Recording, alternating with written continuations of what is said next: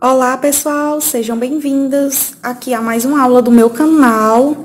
E a aula de hoje é como você vai fazer esta linda solinha de 12 centímetros. E eu vou ensinar vocês também tá fazendo ela uma solinha dupla e como você vai reforçar ela. Essa daqui ela tá bem reforçada, você pode ver quando você for fazer uma solinha apenas um lado, você vai ver que ele é bem molinho, né? Então, vou ensinar vocês a deixar ela bem firmezinha para ficar bem bonito na sandalinha de vocês. Essa, essa solinha veste uma criança de mais ou menos um ano, né?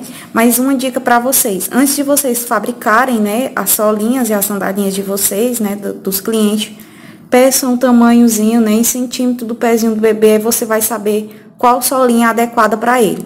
Temos outras aulas de solinha aqui no canal e eu fiz essa, essa solinha especialmente para essa sandalinha. Vamos ter a videoaula dela aqui no canal, ela é bem linda, né? É uma réplicazinha da Adidas. Tamanho um ano que eu fiz. É, um, é para uma cliente. É outra coisa aqui para vocês. É, eu usei o EVA, né? A lista de material são EVA, a linha Anne na cor branco, né? Não preciso estar tá mostrando aqui, é só você ir atrás da cor branco. E a agulha é a de 1.75, acho que não vai dar para vocês verem. Usei agulha e tesoura para o arremate. Outra coisa, não mostro aqui os arremates nas aulas porque se torna muito longo, mas eu vou estar tá deixando o link aqui na descrição de como eu arremato as minhas peças. Vamos lá assistir a aula? Começamos, né, com a nossa laçadinha inicial e eu vou fazer 24 correntinhas.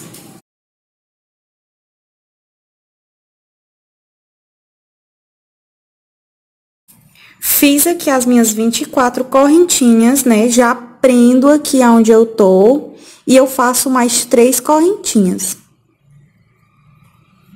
Aqui eu já dou a laçada na minha agulha, venho no quarto ponto, né? Onde eu prendi e faço dois pontos altos nele.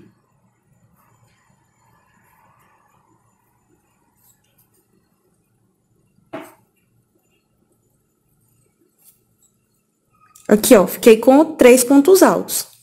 Agora, eu vou seguir fazendo 22 pontos altos, um ponto alto para cada pontinho desse aqui de base, pegando apenas a alcinha da parte de cima, desta forma.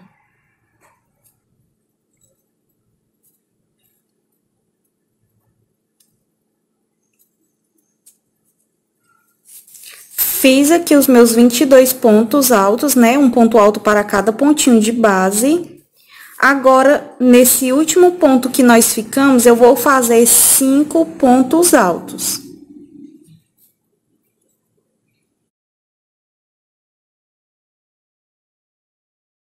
Todos em um único ponto, viu, pessoal? Aqui nós vamos usar para fazer a viradinha do nosso trabalho. Já fiz dois.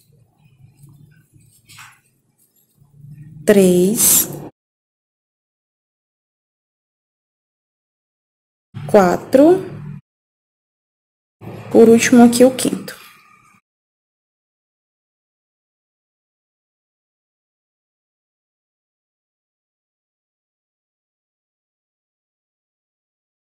Fiz, né, meus cinco pontos altos aqui, ó, todos em um único ponto.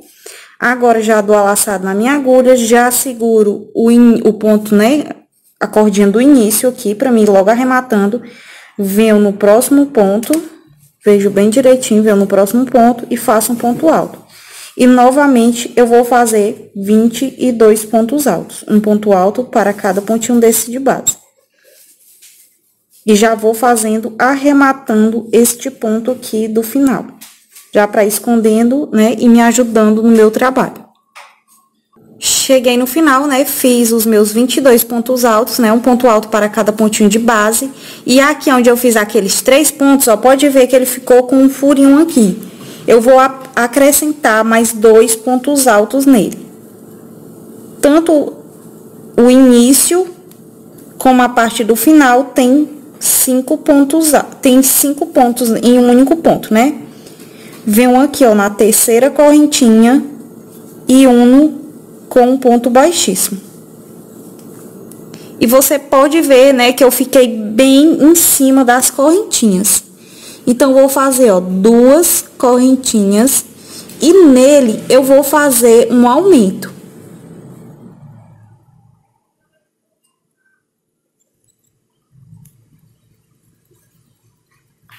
Fiz aqui o meu aumento, vou no próximo ponto, faço um ponto baixo com o aumento.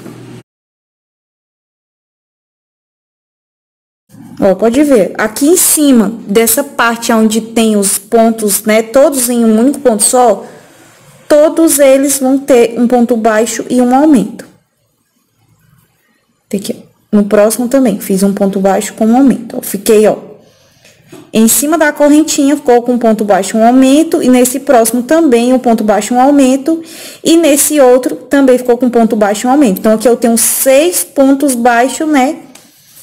E ficou os outros dois pontos, né, que eu acrescentei desse lado. Quando a gente vier dando a volta, a gente vai fazer os pontos baixos com o aumento aqui neles também. Agora aqui eu vou fazer 10 pontos baixos. Essa aqui é a parte de trás da nossa solinha. Você vai seguir fazendo seus 10 pontos baixos, já que eu volto com vocês. Fiz aqui os meus 10 pontos baixos, agora eu vou fazer dois meio ponto alto.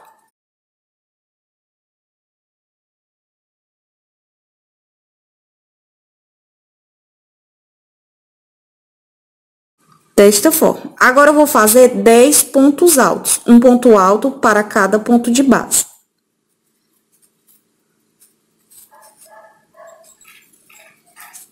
Vou fazer aqui os meus pontos, já que eu volto, meus pontos altos.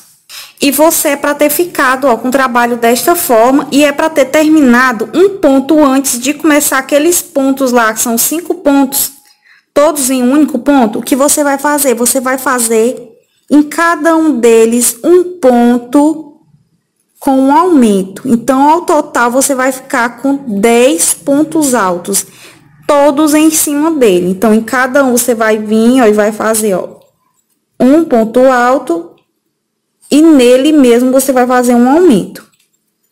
Desta forma, você vai prosseguir até chegar lá do outro lado, aí eu volto com vocês. É bem fácil, é só instruções. Fiz aqui, ó, os meus pontos, né, todos com aumento, e agora a continuação que você vai fazer vai ser 10 pontos altos, né? Um ponto alto, para cada pontinho de base. Desta forma.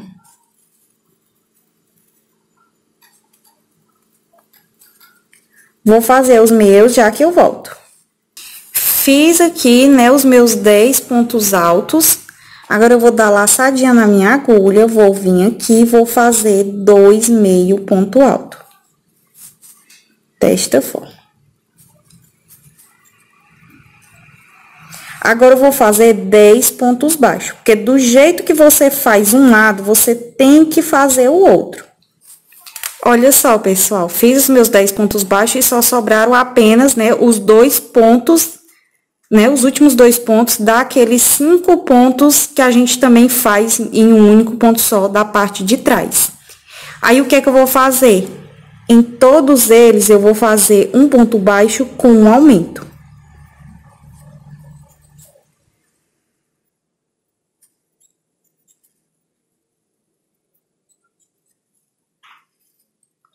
Faço aqui, venho aqui na correntinha e uno com um ponto baixíssimo.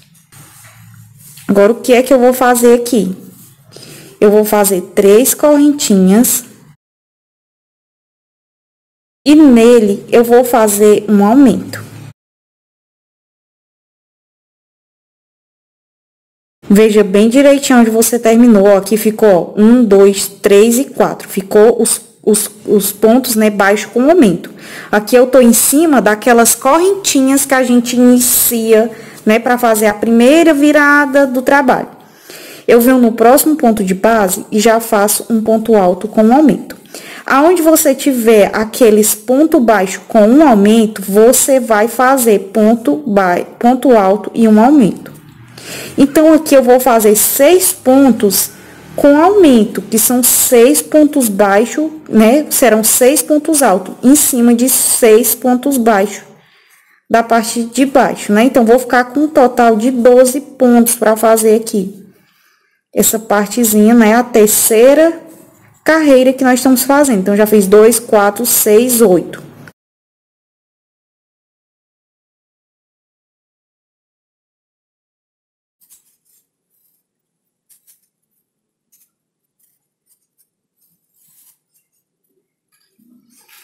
Em cima de cada ponto daquele com aumento. Não tem erro.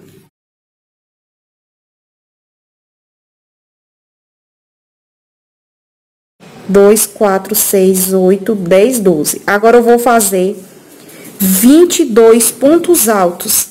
Eu vou ter que parar lá perto, lá um ponto antes, onde eu comecei com aqueles aumentos novamente. Então, vou fazer aqui os meus até lá, um ponto alto para cada um deles. E eu volto aqui com vocês. Fiz aqui os meus 22 pontos, né? Deram bem certinho. Eu terminei uma carre... um ponto antes, né? De começar aqueles pontos lá com aumento. Então, o que é que eu vou fazer? Para cada ponto daquele com aumento, eu vou fazer um ponto e um aumento. Então, se embaixo eu comecei, eu tenho 10 pontos, aqui eu vou ficar com 20. Cada pontinho desse você vai fazer um ponto alto e um aumento dele, até chegar lá do outro lado. Você vai fazer 10 pontos com aumento aqui. Você vai ficar com um total de 20 pontos altos. Vou fazer aqui os meus, já que eu volto. Fiz aqui, ó, pessoal, fiquei aqui, né, com os meus 20 pontos. Agora, novamente, eu vou continuar fazendo os meus 22 pontos altos. Um ponto alto para cada pontinho de base. Cheguei aqui no final, pessoal, fiz os meus 22 pontos altos, ó, e tá desta forma meu trabalho, e eu fiquei exatamente aonde ficou aqueles, né, aqueles quatro pontinhos baixo aqui, né, de base, né, aquele que fica um ponto baixo, um aumento, um ponto baixo, um aumento. Então, o que é que eu vou fazer? Para cada um, eu vou fazer um ponto alto e um aumento. Então, aqui eu vou acrescentar mais oito pontos aqui nessa carreira. Em cada um eu vou fazer um ponto e um aumento.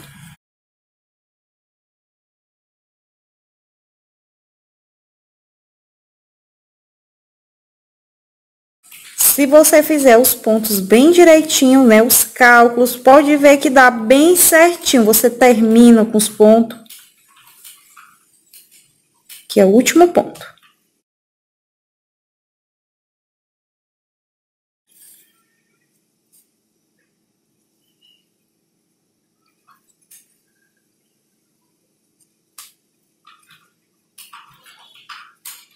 Agora, eu venho aqui na terceira correntinha e eu finalizo com um ponto baixíssimo. Pego aqui minha tesoura, né? Puxo mais um pouquinho, que tá muito curto. E finalizo aqui a minha solinha. E ela ficou desta forma. Ficou maravilhosa. Pessoal, assim, no meu ponto, essa solinha, ela ficou com 13 centímetros. Mas dependendo do ponto de cada pessoa, ela termina com 12, 11,5. É porque eu tenho uns. Dependendo né, do que eu estou produzindo, às vezes eu tenho um ponto mais acochado, às vezes mais frouxo. Então, dá, vai dar bem certinho. É, desse formato, se você utilizar, né, que esse aqui é um tamanho de um ano. Então, um tamanho de um ano, a gente não pode estar tá produzindo uma peça molinha. Se você gosta, não tem problema, mas eu não. Se você assistir outras aulas de solinha aqui no meu canal, você vai ver que eu sempre faço ou ela dupla. Então, eu trouxe outra ideia aqui para vocês. É, você vai fazer duas solinhas iguais, caso você queira produzir uma solinha dupla, só que eu vou acrescentar outra coisa aqui na minha solinha. Eu comprei um EVA e o que eu fiz?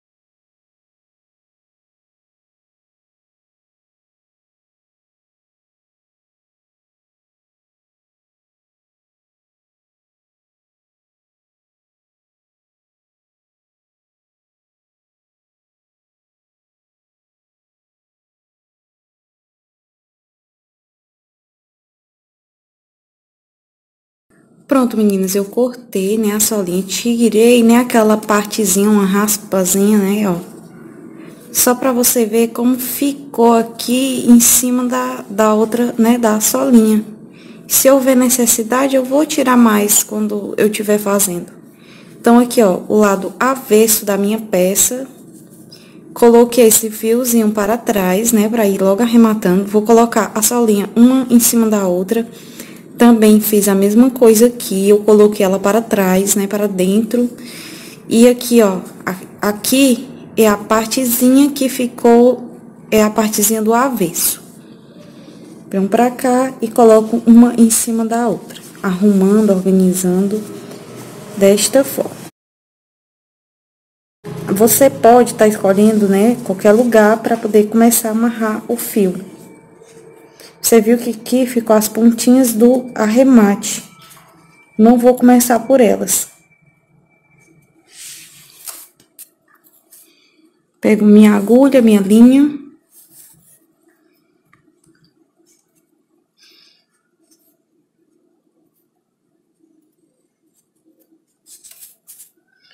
Vou entrar, pessoal, aonde fica, ó, essas correntinhas, ó. Só pra você ver. Peguei as correntinhas daqui com as correntinhas do outro lado. Puxo aqui o meu fio, assim. Viro para o outro lado. Isso aqui eu nem preciso estar tá com isso aqui agora. Deixa eu fazer logo aqui a união deles novamente aqui ao lado, ó, bem ao lado da onde eu peguei o fio.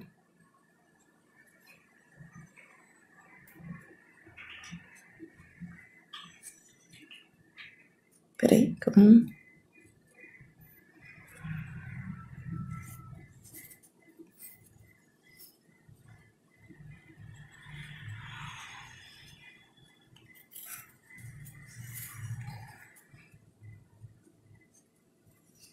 E aqui eu vou amarrar para ficar preso a minha linha.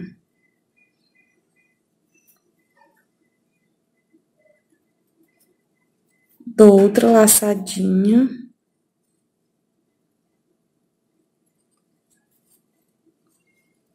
Que agora eu venho aqui, ó, por dentro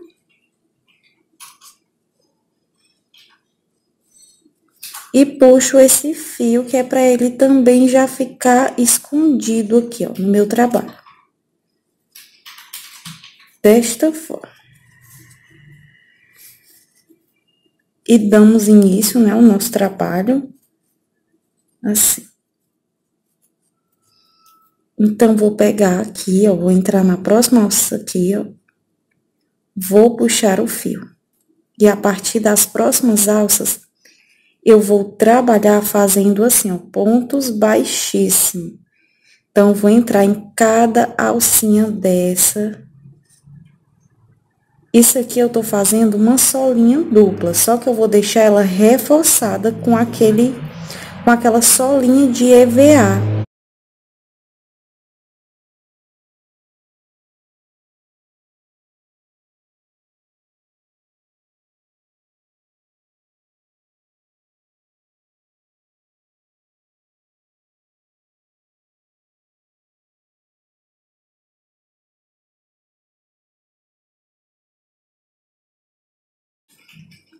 Ela vai dar mais uma firmeza na minha sandália. Como eu estou fazendo uma solinha para uma criança de um ano, ele vai ficar bem mais durinho, né? Vai ficar, dar uma firmezazinha. Ó, todos os fios já aqui pra dentro. Então, ela vai ficar aqui dentro. Quando eu tiver bem por aqui assim, eu já deixo ela aqui dentro, que é pra mim ver se ela está no tamanho adequado para o meu trabalho. Se você já quiser ir segurando e fazendo, você também pode. Você já viu, né, que eu fiz aqui, eu uni, acabar fui fazendo pontos baixíssimos e eu vou fazer isso dando a volta no meu trabalho todinho. Quando eu chegar bem aqui, eu já deixo a solinha aqui dentro. Se eu ver que ela está maior do que o meu trabalho, eu tiro aquelas raspinhas, né, que eu mostrei pra vocês. Não é muito, né, pra não dar nenhuma diferença no trabalho. Vou fazer isso até o final e volto para mostrar aqui e finalizar a partezinha com vocês. E vou, ó, pessoal, não esqueça de colocar, né, o EVA dentro. Se você não quiser, quiser fazer só a solinha dupla, não tem problema. Isso aí é opcional de vocês. Eu estou aqui apenas ensinando como você deixar mais firme a solinha, né, para você estar tá entregando um trabalho mais caprichado para as clientes. Pronto, pessoal, eu cheguei aqui no final, fiz todinho e o meu EVA, aquela solinha de EVA, ela está aqui dentro. Eu vim foi finalizar com vocês. Eu fiz até o último ponto, bem aqui onde fica aquele risquinho, eu também fiz em cima dele. Aí aqui o que, é que eu vou fazer? Eu vou puxar. Vou cortar o meu fio. Vou vir aqui atrás. No ponto seguinte, eu puxo este fio.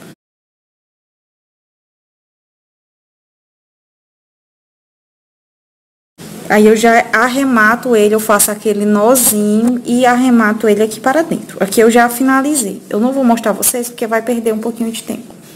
E assim fica a nossa solinha. Ela fica ótima, fica bem durinha, ela não fica mole. Ó, dá até uma espessurazinha. E, eu, e aqui com essa solinha dá para você fabricar diversos modelos de sandálias, sapatinhos, várias coisas. E fica bem bonito, elegante e charmoso. Eu vou mostrar aqui esse modelo, né, que eu tô fazendo essa solinha para a fabricação deste modelo. Mas com ela eu posso estar fazendo diversos outros modelos.